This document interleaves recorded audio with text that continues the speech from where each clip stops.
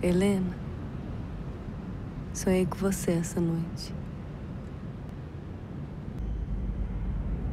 Mas quando vejo, você tá em cima de um muro, enroscado no emaranhado de fios elétricos. Ela estava sentada na cama, do outro lado, eu sentei, aí que ela falou: Arte para mim é tudo, sem a arte, eu prefiro morrer.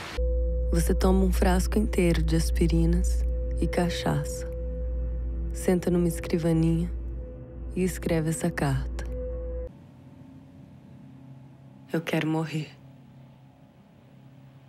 Razão? Tantas que seria ridículo mencioná-las. Eu desisto. Desisto porque meu coração tá tão triste que eu sinto achar-me no direito de não perambular por aí, com esse corpo que ocupa espaço e esmaga mais o que eu tenho de tão, tão frágil.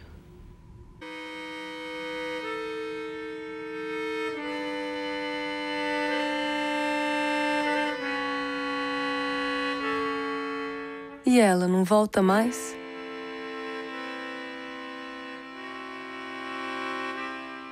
E ela? Não volta mais?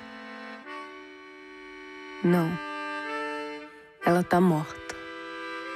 Ela não volta nunca mais. As memórias vão com o tempo, se desfazem. Mas algumas não encontram consolo. Só algum alívio nas pequenas brechas da poesia. Você é a minha memória inconsolável, feita de pedra e de sombra. E é dela que tudo nasce e dança.